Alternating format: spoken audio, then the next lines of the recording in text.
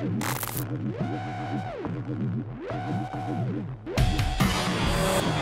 to the Electric Theatre.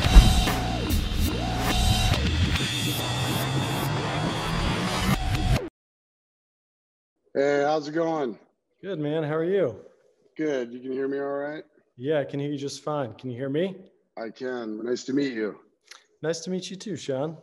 So uh, I'm just gonna jump right in. This is uh, it's a cool day for me because my whole philosophy of the Electric Theater was to be able to have conversations with people I've never met, and then hopefully those conversations leak over into reality with other human beings, and somehow I find my way back into a wormhole of a conversation from before. So it's pre- just so everyone knows, it's pretty cool because I was doing a podcast. I can't remember with who, but it's pretty recent, and I brought you guys up. And then the next thing I know, here we are. So Awesome. that's my uh, that's sort of my favorite way um, about music to uh, let it find me, and I think that's the story everyone sort of needs to know is that um, I I had a dear friend many many years ago who turned me on to shuffle Mhm. uh, shuffle mode. And I had asked him if he had heard an album that I did. And he said, no, I'm waiting for it to show up on shuffle. And I was like, what is that? You know, what, what's going on with that? And he explained to me that he had over 10,000 songs. And when he's in the subway, he likes things to hit him and it kind of decides his day because he, he feels like I do with music. So that's kind of what I do. Um, but I also apply that to like, you know, all the musical sites. I'll, I'll, I'll be checking something out I like, and then the algorithms sort of say others like this or whatever. But I, I kind of let things just play while I'm working. And you guys, uh, you guys came to me one day, and I think the coolest thing about it was that I just thought it was so in the moment in the day. And I'm like, wow, you know, I thought whatever day it was about five years ago, probably. And I was like, what is this? And I listened to it probably for a year straight Wow. uh, at, at different times. And, uh, you know, there's many things we can talk about it, but um, I'm just trying to give the backstory to everyone yeah. Uh, because it's a little different than just like me talking to somebody in a band. Like this is really over something I fell in love with and knew nothing about. So how it carries on from there is that I don't normally educate myself. I don't go down the wormhole of today and use all the the internet's ability to educate myself. I, I, I sort of want the true vision in my own brain. I want to imagine uh, uh, I want to imagine what this is all about. Um, so that's really that's really what it is, you guys. And then what happened was I I, I wanted to see an album cover uh, because I love album covers since I was a little kid. I, I can remember just holding on to, you know, 12 inches and Yeah. just staring at like blackout from the Scorpions or something, and just trying to trying to understand why that would be the vision of the band. So for me, we don't have to have, you don't have to ever explain anything and give it away if you if you prefer. But for me, when I finally got the album cover and then it said 2006, I was like, what? I, mean, I, Uh-huh. I, I I literally was like, where have I been? What do I do? What is my problem? But you know, and I had I had a good chuckle with that because yeah. I was playing it with a good friend, and he's like, "Oh yeah, I know that band." And he's like, "You listen to that band?" I was like, "Oh, you know, I was talking about all this stuff, and, and then I was like, 2006. It it just blew me away, and that made it even better for me uh, because I knew that I was succeeding in what I like most, which is not to buy in to sort of the forced reality around me. You know, I, I want Yeah. it to be there when I absolutely need it. And that's why I was able to listen to it for a straight year because it was a mindset. And songs like, you know, my two favorite songs, and then I'll shut up. But my two, the songs that just for it. kept it going. I think the first song I heard was uh, won't come back alive. Awesome. And I, sometimes I mess up titles and stuff, so I'm Mhm. gonna do the best I can. and then that just took me. So I listened to that probably 30 times, and then I went to the beginning of the album, and I fell in love with that. And then I went to the end of the album and listened to Relief, and that was it. Because th- that sort of movement in that song is something like that I love. That sort of, I don't know if it's a pull off or just whatever it is, that sort of swagger of falling in and out is like what I love most. So that's the one that hooked me in. And as a kid, I usually needed about two to three songs from an album to buy it because Mhm. money was scarce. Yeah. And um, I needed to have at least a couple albums a week to continue my interest. So if there was at least two songs, I would buy the album, you know. But anyway, then I went to the album cover and then I really will shut up. But no, uh, it's good. Hey, yeah. I love it. Bring it on.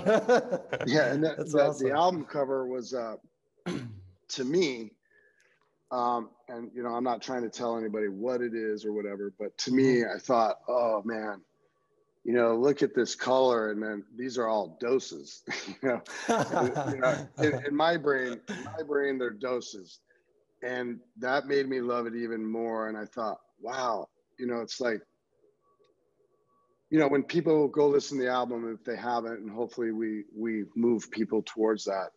But uh uh there's a lot of dynamics in your music that you know from i'm not sure if it's a drum machine or a drummer made to sound like a drum machine or whatever but that was one thing that got me right away. I was like whoa. I love that. I love incorporating all things. So anyway there's a lot of dynamics in your music and you guys take a lot of time to um, really go in and finitely uh, look at parts and make them sound different ways from vocals being way over here up Mhm. top and uh, so anyway that's my introduction with you guys and again i know i don't know a single thing about any of you guys or yourself Yeah. or the band because I just try to keep it religion, you know. And anyway, so thank you for the great music and that that heart and uh um you know actually after I said it on the podcast, I went back and listened to it again without even knowing we were going to talk and Yeah. um I was like, oh, I haven't listened to that for a minute, you know. So anyway, so wh- where are you guys? Where are you guys from? What's your story? I know you got something new coming out or is out in Sure. 2021. So what's what's the what's the time lapse between 2000 and I know there's a little like EP before that. I checked that out too. Yeah. Uh, the Burning Mouth or uh, the Dead um, yeah. So yes. the- yeah. so So, I'll- tell tell us the story. Tell us the story. Yeah, for sure. So, well, I'm happy to tell the story. And before I do, I just want to say thanks for the. Uh, it's just really cool hearing your reaction to it and hearing, you know, especially that you came into it in the most organic way possible. You know, no expectations, no knowledge about what it was, when it was from, who made it. The music just hit you, and that's um, that means a lot because that's, uh, you know, what better way to come across something and uh, and cool too that you came across it you said five years ago kind of which for us was in the middle of a very long hiatus i mean we went um, we went over a dozen years between releasing albums and around the time that you would have heard that say five years ago that was around the time when i would have been surprised to know that anyone really that anyone still uh, knew who we were or was listening to our music at all so uh, I think that's very cool. Um, but yeah, as far as far as who we are and our story, I mean, uh, we started the band. Uh, it's gone through a lot of changes recently, but Genghis Tron started when I was 19 years old. Uh, I grew up in uh, mostly in the South, in Georgia, and a little bit in Tennessee and Florida. But then when I was 18, I moved to upstate New York uh, to go to college. And when I was 19 years old, I started I started the band with my friend Michael and uh, another guy who was our vocalist named Mookie, and it was just the three of us. And when Genghis Tron started, I mean, actually, it, I mean, I think it started as a conversation. We were, you know, at a party or hanging out or something, and I was so, you know, I was so enthralled to have met these guys because uh, where I grew up, I didn't really know many people who liked the kind of music that I did and um, and you know, I graduated from high school at 2001, 2002. I'm born in 84. I'm 37 now. So I grew up in that era that, you know, I'm just old enough to have to have first had to go to, you know, record stores and and wait, you know, until the day of an album release for me to go in and buy it right when the store opens. You know, I had that experience, but I also had some of the experience of being being young enough to start getting some of my music through the internet while I was still while I was still coming of age. So, you know, when I'm 16, 17, 18, I'm finding about all these bands on the internet. I don't know anyone who knows them.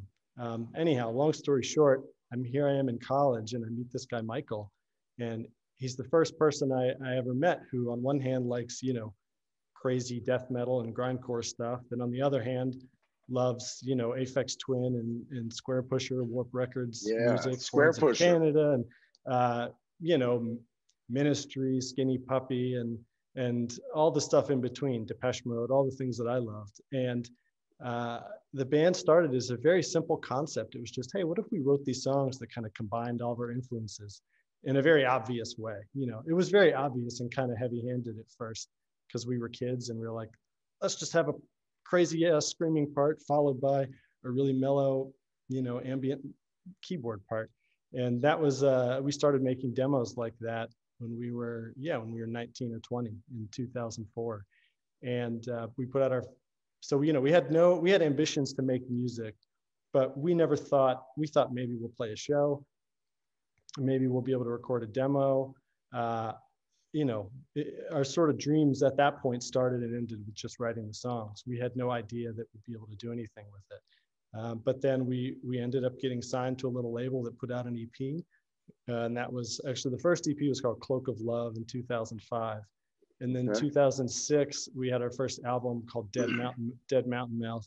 And then yep. board up board up the house, the one that sounds like you're most familiar with was 2007 or 2008 on Relapse Records. And I'm, I'm giving you the, the backstory because it was just three of us guys. Uh, oh, and by the way, the, you, you, mentioned drums. Yeah, at the time we didn't know any drummers. Um, and so we just, you know, and we wanted to have not only sort of crazy drum parts, but also purposefully synthetic sounding drums as well. You know, synthetic percussion to say at the time was really inspired by our love for the Warp Records and 90s kind of electronic music um, layered on top of or, or, sort of weaving in and out of the more acoustic live sounding drums. Uh, but so we would we programmed them. I programmed the, for lack of a better term, like the fake live drums, and my uh, partner Michael, songwriting partner, he would do the more the more electronic sounding stuff. So you know, I would do guitar and drum programming. He'd do synths and drum programming, and then the third guy Mookie did vocals and some synths as well. So it was just us sitting in little dorm rooms or apartments, you know, grinding out songs, doing dozens and dozens of drafts, taking months to write a song, overthinking every single part. Uh, that's how it started, and that's still how we do it. Um, but we just love, you know, we just love the attention to detail and to to putting everything together. Yeah. Well, did that did, did that album? So you took time to write it. You mm. spent time recording it, but did the did the final thing was it done somewhere all at once or was it you guys putting it together over time and then making one thing did it go to a mixer did you guys mix it did it go to a master yeah we we ended up recording um, so all of our everything we've released has was eventually recorded and mixed in the studio and uh, for the first ep it was with this guy uh, colin marston who's now is, is got quite a name for himself. On the he plays in a lot of uh, New York-based metal bands, and the biggest band he's in now is uh, he's in Gorguts, the the famous old death metal band. He's a new member in that band now. Um, but our, our, three full lengths out, the three full lengths, the one from 06, 08, and the new one that just came out, those were all recorded in Salem, Massachusetts at God City Studio with our friend Kurt Ballou. He's in the band uh, Converge and he's played yeah. um, he's recorded other like high on fire and some other bands you you probably are, have heard yeah. of and maybe have played with but uh, he's fantastic so yeah so it, it, you know a lot of the we would put together the arrangements ourselves but the as far as the the guitars and vocals would always be recorded in the studio um, and uh, I'm I'll get in, I can get into this later. We actually do finally have a drummer now for our new album, um, and he's incredible. But uh, that's sort of a I, will get into that. But sort of the history of the band was was just the three of us, uh, the three of us friends, just making this making this music ourselves. And uh, you know, we we lived in New York for a while while we were in school. Then we were in Philly, uh, did and did the band thing, the touring thing full time for about four years, I think, three or four years. And then around 2009, 2010, um, you know, it got to this point for us where we felt like we had to take a break. Uh, and there are plenty of reasons for it that I can get into, but the main, the main reason for purposes to sort of explain in the backstory of our band, the main reason we wanted to take a break was I think because we, you know, we felt that the, the, the constant, the tour cycle, especially for a band of our size, which was, you know, we would play our biggest shows were headlining to 150 or 200 people and clubs and you know in major cities. And it blew our minds. We never knew that anyone would want to come come see our music. So it, we've always been sort of out outpacing our own expectations but at the same time it wasn't shaping up to be you know to be some huge career for us or anything like that. And, and we knew that the only way to survive would be to keep up that grind and to tour you know seven or eight or nine months a year. And it was starting to wear on us a bit. We said you know let's take a break because uh, let's let's keep this our passion and let's not let's not ruin our relationships with each other. Let's let's not spoil this amazing creative love that we have for this music that we make. So we planned on taking a six month break. Then it turned into a year long break and then you know 12 years later we finally uh, reconvened and, and put out another album. The whole time it was always our plan to do it. We just had no idea it was going to take so long. And you know life get life gets in the way. Um, and it was hard going without it for so long. I mean for me personally just being away from making music uh, felt like i was you know lost a part of my soul or something. But uh, but uh, it feels so good to be back doing it now. So uh, that's that's well, the short that's the short story. But now we're all spread out. I'm we've um, I live in the Detroit area. Uh, my other songwriter Michael lives in uh, lives in New York, and uh, now we actually have a new a new vocalist who lives here in Detroit as well, and our drummer's in Vancouver. Uh, so we're all spread out. Okay. And uh, so the new album I see was um, it's 221, mm-hmm. right? yeah uh, so 2021 new album. When did it come out? It came out at the end of March. Yeah, March. So, so relatively just a couple weeks yeah, ago, really. Just a couple weeks ago. So and so so there's that. So so let's go back to that album. So that's yeah. one thing that one thing that I loved about that I was telling you with the drums is that I I on my own, I've always loved drum machines. I play drums and I always love the ability. And, you know, there's something special about like the drums you're using because, you know, in, in order, in my opinion, this is only my opinion, it's not right or wrong. Yeah. It's just, uh, you know, different, whatever. Uh, it, you know, demos can go to albums because things change. And, um, uh, you know, those drums don't, you know, you know in the back of your head they're sort of a drum machine, but they got a flavor, you know, been thrown mm-hmm. through some preamps or so that's one thing I knew. I was like, okay, this is a, you know, I felt like it was a drum machine, but I'm like, but it, you know, it's in a studio and that yeah. makes it, you know, but that makes it great. You know, it's like uh, committing to some um, different philosophies. And then, you know, most people, I don't know if they really think about going in, renting a studio or a room and going in and working with a producer or an engineer and literally like working hard on making a drum machine sound like another paintbrush. So that that really turned me on with those sorts because never I don't feel like it ever sounds the same. You know, you get to uh, what is it? Uh, um, feast, I think. Uh, yeah, by, feast. Yep. By, mm-hmm. by the time you get there, you know, it's just this other whole thing happening and you know you're yeah. like what what really is happening i'm like that's that's really fast and really yeah. you know so but it sounds so good but in the back of your mind you know but it sounds so good your imagination can roll you know? Yeah. Yeah. And um, I really, I really love all the dynamics you guys have on that album. I really, I really, you know, you know, people are going to be mad at me. Don't take this the weird way, but you know, it's like I, I don't normally ever just, you know, I tell people all the time, I, I don't normally even talk on the phone, let alone Mhm. talk to people, you know, like this. So it's like brand new in my life. You know, I'm trying to do different things, but Yeah. I, I don't feel like I'm going on a limb. I really think that album is pretty genius. You know, I really, Thank you, I think, I, I really think, well, I don't think, I, I know it is. And, you know, I don't, I really, it's a great album. You know, and the music, everything's so, uh, oh, everything's so um, oversaturated.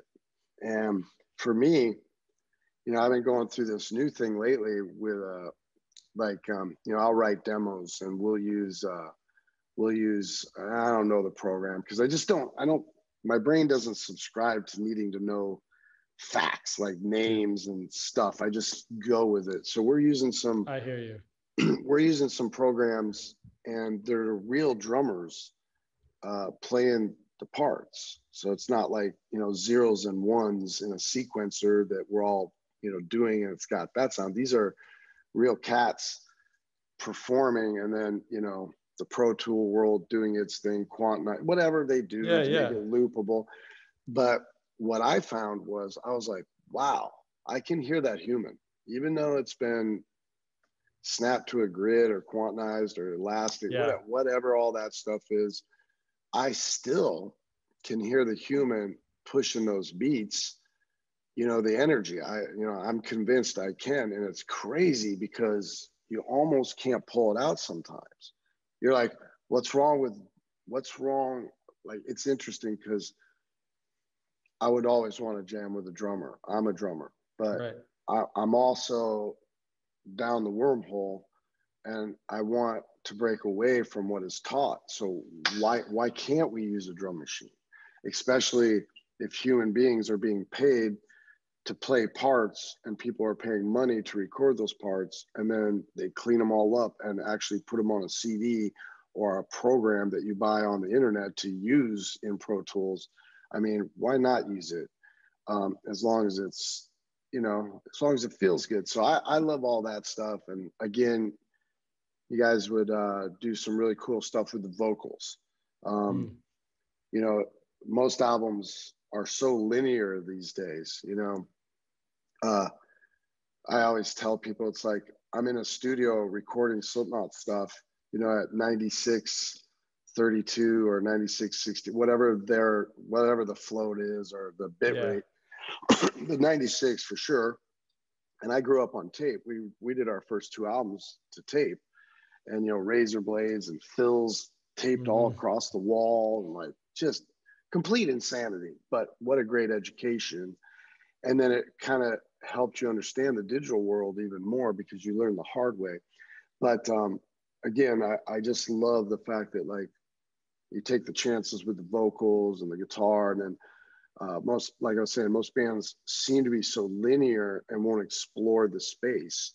And in this digital world, you know, I, like I was saying, I, I, we, we record at such a high resolution in my mind, and then we hand it over to everybody, and they won't even tell us what the codec is or, or what you know. They're just like, nope, this is our extension.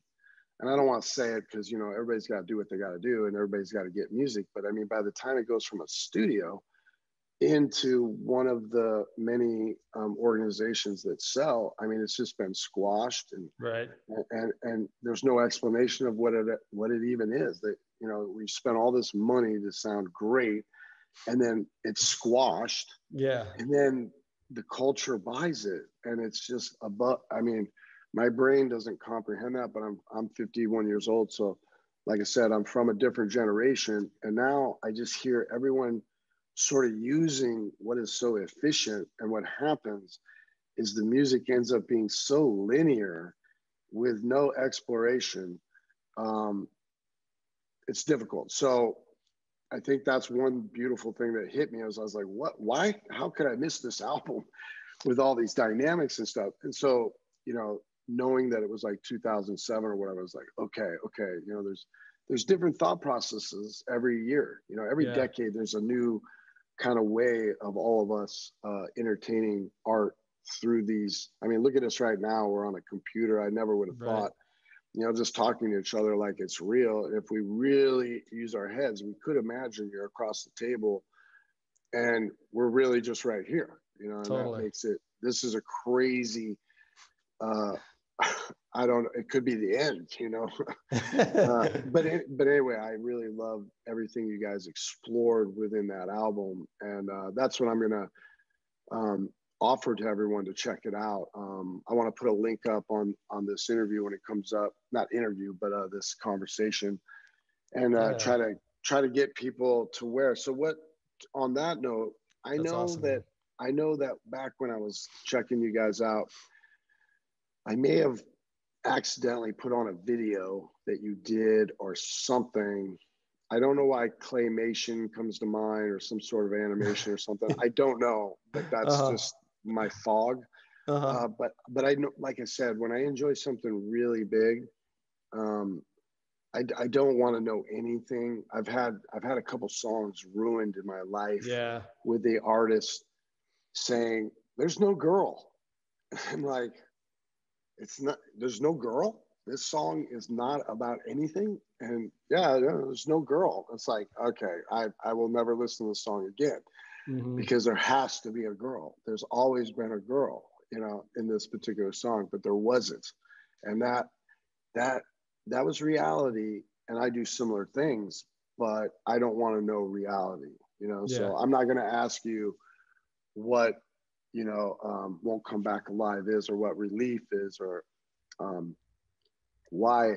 That's the other thing. I love the the the order of the song. Like it's oh, just thanks, got this man. it's got this crescendo and then with relief at the end it's sort of like you got pummeled and then you're relieved that it's going to end but the end riff just goes, goes. yeah.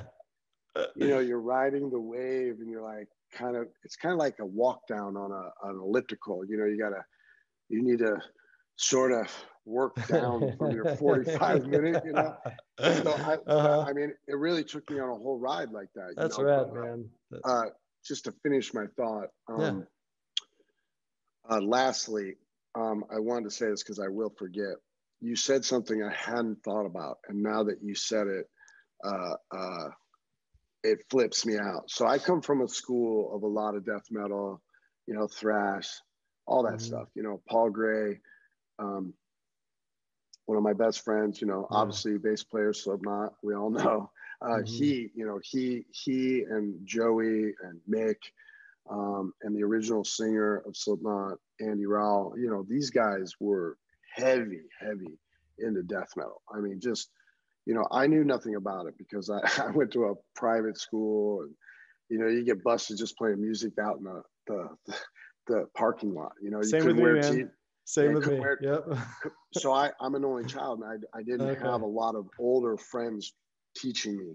Um, Mhm. but anytime someone did, I went down that road. So Paul Gray uh, was the gentleman who who gave me, you know, Cannibal Corpse, and you know, Mick taught me, you know, showed me Morbid Angel, and you know, um, it was all those guys. It was Mick, Joey, Paul, and Andy, a couple other cats that were around. They they played all that stuff, listened to all that stuff, but they also listened to Stevie Ray Vaughan, you know, and like me, you know, or like, you know, Jane's Addiction or Rage, or, um, you know, I'm an old school alternative guy, you know, yeah. uh, and punker, you know, so I, but they love that too. So that was a lot of our interest. But you said earlier, you said uh, you brought up Skinny Puppy.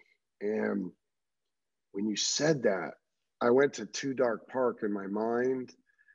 And then I was like, whoa, you know. So what I'm saying is I I get a Mhm. similar feeling listening, and I'm wondering if that's one of my biggest attractions because I Ah, I love Skinny Puppy. And I used to purposely, when my parents would leave town, I'd get a 12 pack of beer and lock the house and crank Skinny Puppy up in the dark. And I would just be like in the window, like, hello, Dude, freaked awesome. out. And, and I love it. But so I, I feel, I don't want to say your influence or whatever, but I see some of those No, those colors after you said it. I had never thought about that band and I, I just feel some color, you know, just some Yeah. inspiration. Sure. So that's cool. So um, let's talk a little bit about that. Did you guys, uh, do you guys, what do you listen to? You listen to everything? Um, I see, are you at home right now? Yeah, I'm at home. Yeah. So you got your guitars, you got, you know, what do you, what do you, what, what do you do? You go to school? You do, you, No, I'm not in school anymore. Um, actually, so I've got a whole like a different out of music career now. After after we put out the board up the house album and toured on it for a couple of years, uh, when we stopped, I went back to school. I actually went to law school, and so now I'm a lawyer. That's my uh, that's my day job. Yeah. great um, job, man. yeah Good for you. yeah and i love it um i love it but it's it's a it's a it's the kind of profession that to you know to really learn to really excel and to really build your skills it's just a big you know it's a real commitment you got to really commit to it and that's uh, i am still committed to it but especially in that first part of your career the school and the first five or six years after you really got to grind pretty hard and so um, doing that, focusing on that, um, the whole time I missed making music, but I didn't have much time for it. And When I did have time, I didn't have any energy because I was because I was just zapped, you know. Um, but I'm finally at a, a place in my life now where I've got sort of more more bandwidth, you know, whatever mental bandwidth to to to return to making music. And now that I'm doing it again, it's uh, you know, it feels incredible. It was always something that I missed. So it may have been 13 years between these two albums, but it won't be, you know, it won't be 13 more uh, Mhm. before the next one. But no, I think that's amazing. just- a lawyer. That's, Thank you. I, I, yeah, I actually tell people a lot that they're the winners in our business because you know I'm out I'm out getting carpal tunnel and you know I'm going to be in a wheelchair when it's all over for being in Slipknot and I've been to labels and I've been to booking agents and I've been you know promoters and I've met everyone and those lawyers you know they're behind the scenes and they're the ones I'm listening to so it's a great my best friend graduated from Georgetown and I've oh, uh, cool. I've always just, I mean, that's it's fascinating, you know, law. So that's do uh, what what field of law are you in? Are you going to be able to do help your band? Uh, the field, well, as far as the fields, I'd say the two, I do all litigation and the two. the Okay, so two- you're a litigator. Yeah, litigator. So, you know, I mostly civil litigation, like complex civil lit, comp, you know, it- whether that means, um, just, you know, business disputes or intellectual property disputes, stuff like that. But Mm. also on the, more on the side, um, here in Michigan, I do some, uh, appeals, de- criminal defense appeals. So I represent, uh, criminal defendants who have uh, who you know can't pay for their own counsel and who need to appeal, whether it's appealing their conviction because they because they want to you know argue that they were unfairly convicted, or appeal their sentence uh, for saying they have an unjust or unlawful sentence. Uh, that's the sort of stuff I work on. That's a little more on the side. That's about ten percent of what I do, but. Yeah, so it's so you know working with people in that respect, and then this the civil litigation is um, more sort of the the big the big complex lawsuits. Yeah. Hmm. but it's all it's really interesting. It's super interesting stuff. It's just uh you know but it can takes a lot of energy out of me too. And so uh so that's again you know finding so it's been interesting like finding time between the, the career stuff and then still making time for my my you know my passion which is making music with my friend michael. Uh it's it's like uh you know my favorite thing to do in life. And so finding finding time to do both is it's been a challenge but i'm like i finally finally reached that point where i've got a balance and it's it's really awesome. So do you guys do you guys have like a website and stuff? I mean, are you planning on touring uh, at all this new album? yeah we're we're uh we don't have we don't have specific plans yet. We would love to we'd love to be able to make some shows happen um, even if it's just a handful a year in, in bigger cities. Uh, we'd love to be able to do it.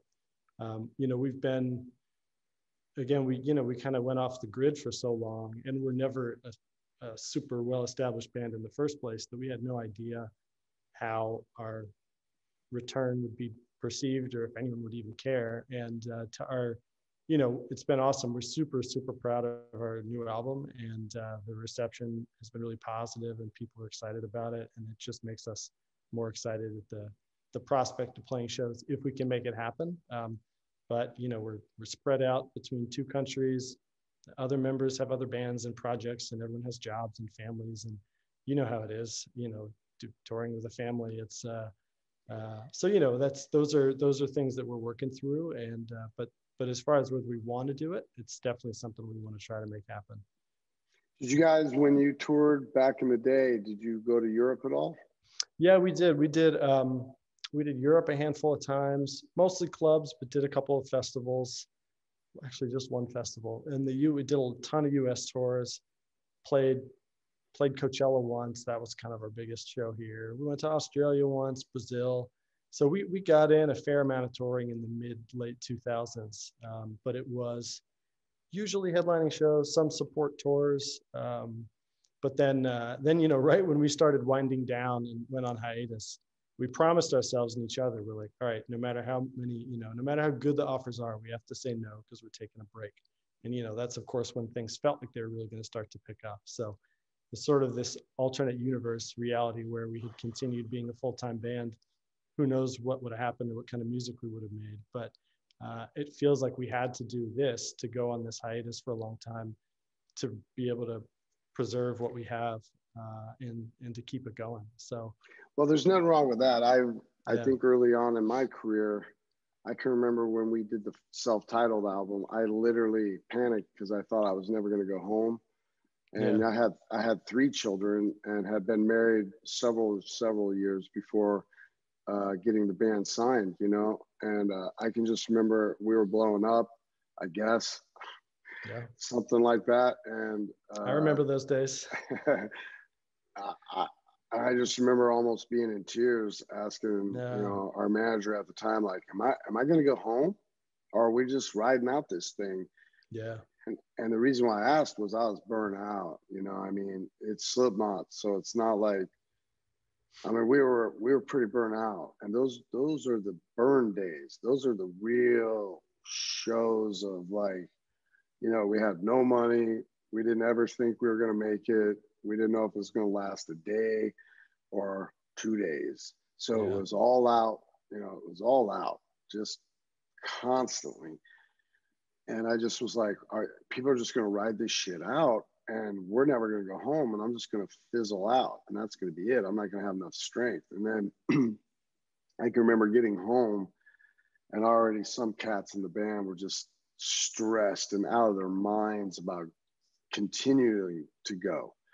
But what I learned over time after Iowa is when, you know, a couple of the guys start doing their thing on the side.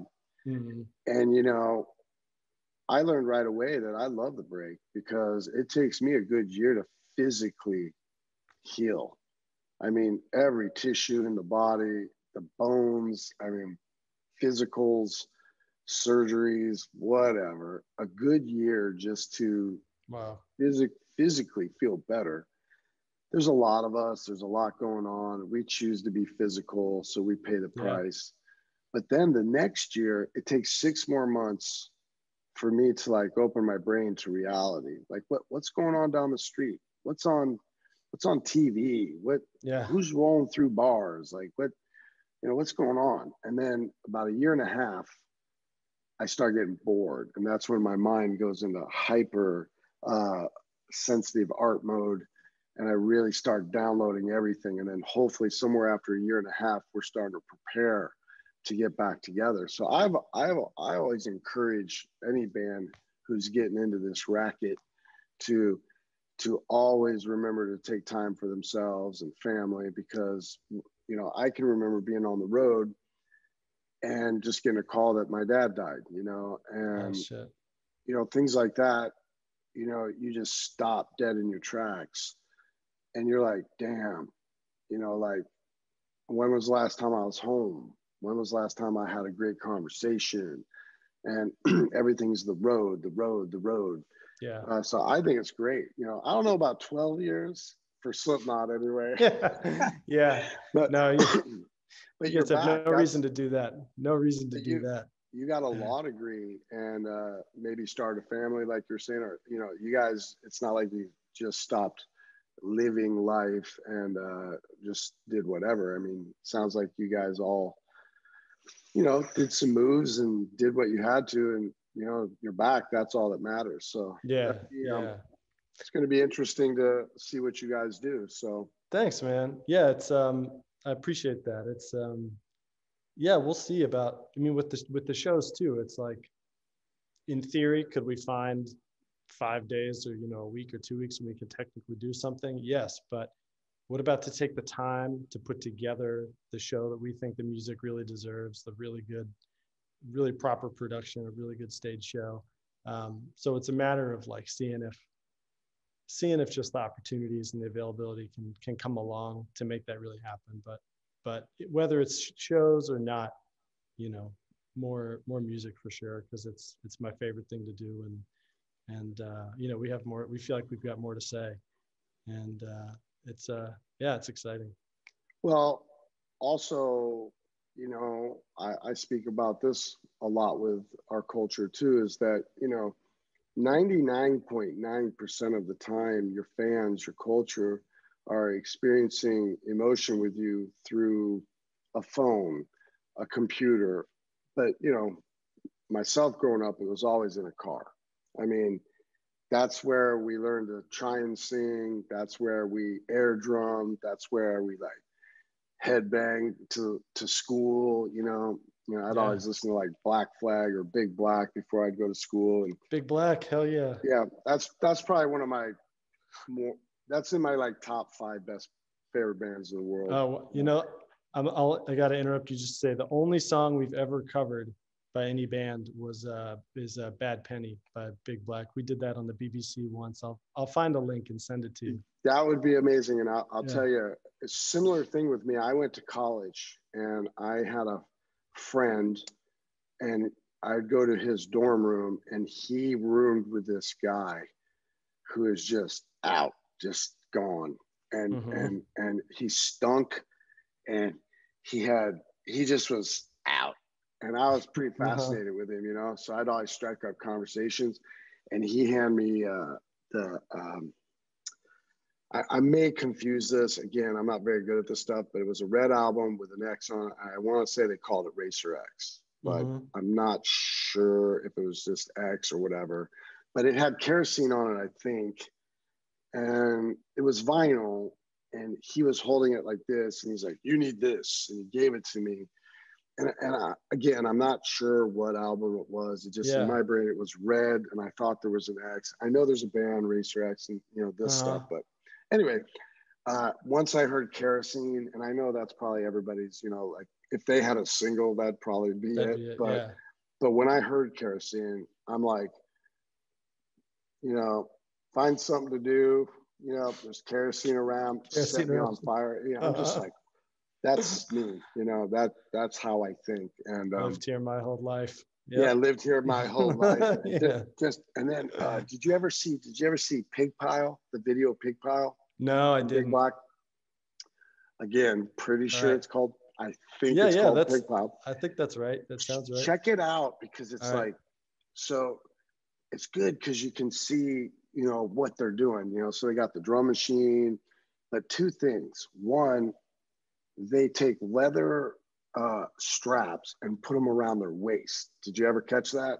i seen a picture of it but i didn't know what that was about so it's just some big I, I don't know what it's about either but that was one of my that was one of my things because albini would you know walk forward and uh, you know and, and the, the other guitar player would walk forward but they'd have these straps wrapped twice around and hold the guitar on like that and i just thought that was so Wow. mili- military and, and Yeah. different you know it's like and then if you watch the video something's going on um, you know, and back in the day, they, you know, they'd play in the dark and lock the doors, and that's the only way you could get in. And uh, the one album, eight tracks, uh, uh, eight track, track for fucking or whatever it was. songs about fucking Songs about fucking. I think yeah no, not that one. One of them, I know they used to send out demos or albums with fish hooks and shit. You know, this is all just weird stuff when I own my bar. But and again, I who knows.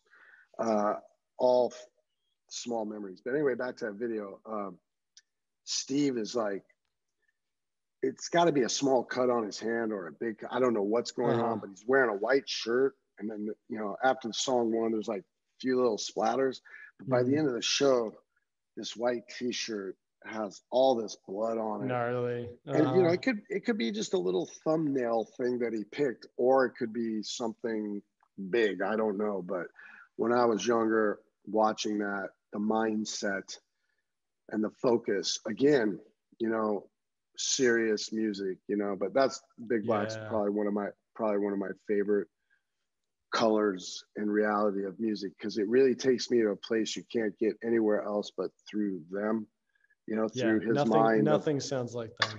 nothing. And Yeah, it- it's almost dangerous for me actually. You know bad penny all this stuff is all yeah, what a what a mindset. And i hear and again just to bring it full circle again you know hearing your album just from the first track and the way the drums are coming in there's these like squeezes you know these these Mhm. things squeezing. And i'm like holy shit you know this is another big black sort of feeling for me you know and you don't you don't you don't get it that often so i i again i really appreciate it that you did the the drum machine and and put so much love behind it and made it this like very brutal terminator kind of thing but anyway awesome. uh, That's a huge yes. compliment, man. Thank you. Uh, you know, we, uh, we, we, we put a, one thing I can say about that album and about, and about the new one is, you know, whatever you want to say about the details, sort of an overarching goal was for us to, to do something that, that we, that we really love when we can find it in music is to try to create a real world to get kind of lost Mhm. in. Um, And, uh, you know, a lot of layers, a lot of textures. And uh, that's, that's my favorite, some of my favorite thing to, to find when listening to music. And that's just what we, you know, that's what we try to do. And so I, to hear, to hear you, you know, coming across it organically and having that sort of reaction. And as someone who's heard plenty of music in your life, uh, I really appreciate that. It means a lot. So thank you.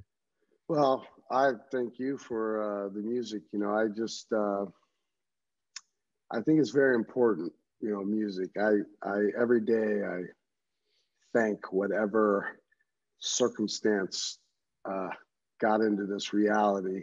More and more, I'm believing it's a simulation. I'm I'm I'm really getting to the point of paranoia of Yeah. all this actually i'm like who's to who's to say that the flesh isn't the real 3d mesh you know like who's to say like what is really i mean it's getting fascinating but if i didn't have god music i tell i tell my friends out on the road and you know uh, fans of all ages our culture I, i've always felt like we're not a band anymore. We really just have this beautiful family that shares with us but i say to them you know like music's the only thing I've had that's always been there for me. I mean, I've been married 27 years, going on 28 next month. And of course, that's my best friend and the love of my life and my children. Um, but you know, even they are they, and and you know, they might need to be there for themselves and not be there for me. And I wouldn't expect anything less. You know, that's fine. But music, I don't even need it to play to have it. You know, and to get through things. And I have a very strong imagination, so I can really disappear on songs and, and really just um, digest them. And I really love, like I was saying, you know, 99.9% of everyone's checking out your album. In the old days, it would have been a, a tape or a CD Yeah. uh, connected to a, a, a tuner of some sort. And you just, you know, I used to take rides.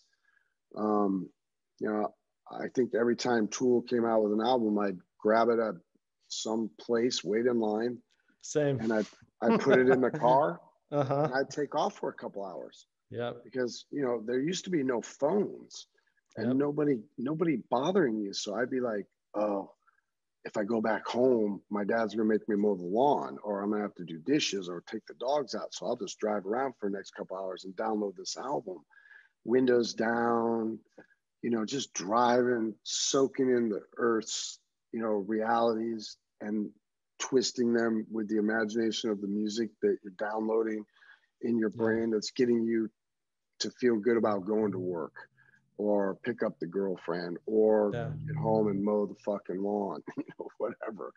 But uh, so anyway, yeah, I, I really appreciate. Um, I spent a lot of time just by myself with music, you know. So yeah. Anyway, man, um, you, man. pleasure to meet you. If there's anything I can do ever, that'd be great. I'm sure we will definitely see each other out there. Dude, I'd that'd be more- great. uh, I, I hope yeah. so. I hope so. Yeah. And I've, you know, I, you probably get, I'm sure you get this all the time because you're in Slipknot, but I I have to tell you, um, when I was 15 years old, I saw you guys twice on what I think was your first US tour. Um, I think I was Ozzfest 99. I Yep. saw And then that. And then with, with- and then it was and then Coal I, Chamber. Coal Chamber and Machine Head. I saw that Yep, at the, ma- Head, the, yep. the Masquerade in Atlanta. And uh, Oh my God. mm-hmm So so check this out, just real Uh-huh. quick. No, you first. Go ahead. Continue. no, I continue. just yeah, yeah. Well, just to say that you know, that was that was around the time you know, 15. I'm trying to think. You know, those are very important years for ingesting music and forming you know your sort of artistic loves and uh, and you know that was you guys came around for me at just like just the right time. I was just a couple years before, you know, Rage Against the Machine, Nine Inch Nails, moving heavier. And uh, I remember, yeah, my first Ozzfest, and I remember hearing about you guys before before the self-titled, but when you had the previous, I'm sorry, I forgot the murder Mate, feed, Feed, Kill, Re- kill, repeat. I Yep. had that I had that CD and I remember going being on some online forum, you know, again the beginning of the sort of music internet, reading about this crazy band from Iowa and they played a show and they destroyed a nine thousand dollar espresso machine or something like that. And I heard all this all just like what I was there when that hype was beginning. And I remember being 15 and and standing by the stage watching you play that uh, Ozzfest in Atlanta, and it was it definitely left a mark. Uh, and so that was uh, so it's really you know you were you were very much a part of my uh, initial introduction into the, the the sort of darker side of heavy music. And i got i got darker and i got into you know sort of that whole spiral. Uh, you were you were a big part of it. And it's so it's very cool and surreal for me to you know over 20 years later be meeting you now and and to hear that you enjoyed something that I, that I was part of. So I just want to say that that's are- cool. Well, well, thank you very much. Thank Yeah. you very much. I feel I feel very connected. Um, I like getting older. I, I feel more at peace being who I am these days. I, I just I love becoming older and I don't know how to say it, but it's like I don't think like I would never say like I hear Slipknot in your music, but when I when I listen to music, you know, I I do imagine like, whoa, you know, maybe, you know, it's. I guess what I'm saying is, as I get older, I love finding stuff like people would have found me, like what you're saying right now. You're saying Yeah. you were younger and I was doing it, and you're like, you know, you're there going, okay, this, but see, then I get older and I'm wearing down, and then I get to find things. And it's like it's all relevant, is what I'm saying. Yeah. It's just all very, it's all very at peace with each other. Uh, Yeah. Atlanta, uh, the Masquerade, the Mm-hmm. Impotent Sea Snakes. Do you remember that band, the Impotent Sea Snakes? I 100% remember the name and I but I don't remember They, were they did they open that show um, I don't think so. There's a Okay. chance they could have. I the bar that I bought that we got signed out of, I had them play my bar, and you know they all get nude and shit, and we did this. Uh, we did this. Uh, so I told them they couldn't do the real show because you know I had a little liquor license, and they'd Mhm. love to shut me down. So what we did was we staged a fake arrest. So we had cops, real cops, come in and act like they were shutting the show down because of nudity, and we just kept playing, and people flipped out, split, took off, and and they're like, okay, we're gonna bring in a SWAT team, and everyone bought it, and they were taking off. We just Oh, that's playing awesome. and then they, they never Uh-huh. came. And and I want to say that the Impotent Sea Snakes were a little upset because some people actually bolted and and they missed some crowd. But uh, Uh-huh. anyway, it flipped the other way. We finally got to go, and I want to say a couple of the members of the Impotent Sea Snakes had a lot to do with the masquerade. May have been partners or worked there. I'm not sure.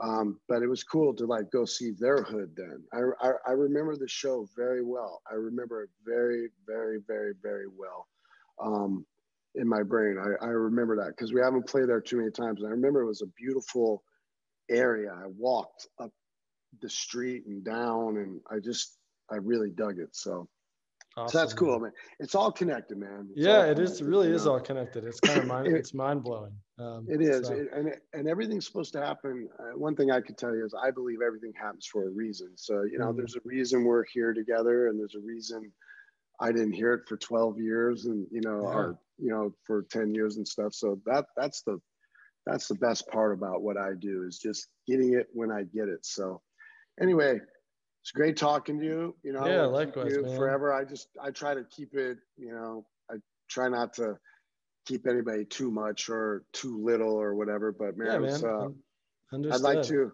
maybe uh you know say hi to the other the other cats and maybe sometime in the future we could uh, get together and maybe do a band thing or I could talk to some other guys too or do an all thing. But I, am sure Dude, hopefully hopefully it sounds like you're gonna make some attempts to get some shows together and stuff. So I'll, I'll keep an eye and we'll uh, we'll stay in touch. And yeah, um, man, that sounds great. I hope I look forward to meeting you someday. Uh, hope I'm yeah, sure it'll we'll happen eventually.